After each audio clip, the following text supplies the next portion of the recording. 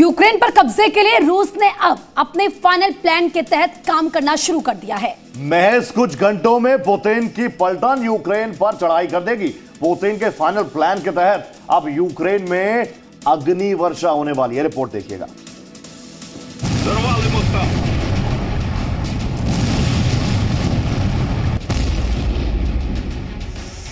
Ukraine में पिछले आठ दिनों से आग बरस रही है। आसमान में बरसते बमों से ज़मीन काँप रही है। दंदनाती मिसाइल के शोर के बीच दर्जनों शहर की चीख दफन हो चुकी है।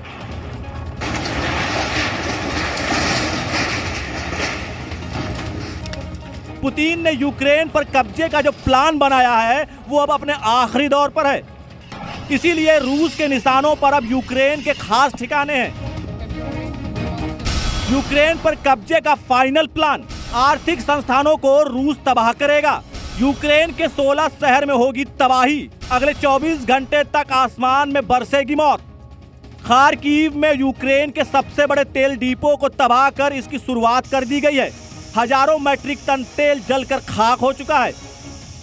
गेस्ट मॉल एयरपोर्ट को पूरी तरह तबाह कर दिया गया है। उसकी सुरक्षा में तैनात कई बख्तरबंद गाड़ियों के परखच्चे उड़ा दिए गए हैं। रूसी मिसाइलों के निशाने पर अब यूक्रेन के कारखाने और गोदाम हैं। यूक्रेन की मदद के लिए न अमेरिका तैयार है और न ही तीस देशों वाला नाटो संगठन।